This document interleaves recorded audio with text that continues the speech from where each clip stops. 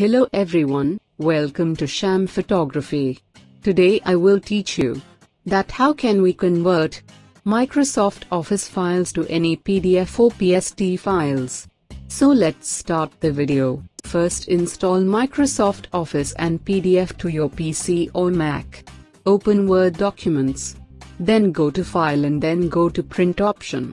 When you install PDF application to your PC, there will be a default printer showing in Print options. Click Print to PDF printer and save the files where you want.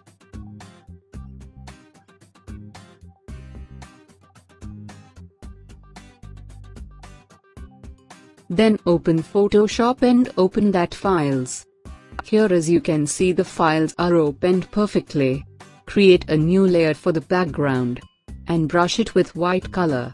Then save it as a JPG image file. In this process you can convert Microsoft Office file to any other file. Like PDF, PSD, EPS, Photoshop, Illustrator, etc. Or open any PDF reader and open the files. That's it. For more easy and unique videos please like share and subscribe my new YouTube channel. I will bring interesting videos daily. If have any questions, feel free to ask me in comment section. Stay blessed goodbye.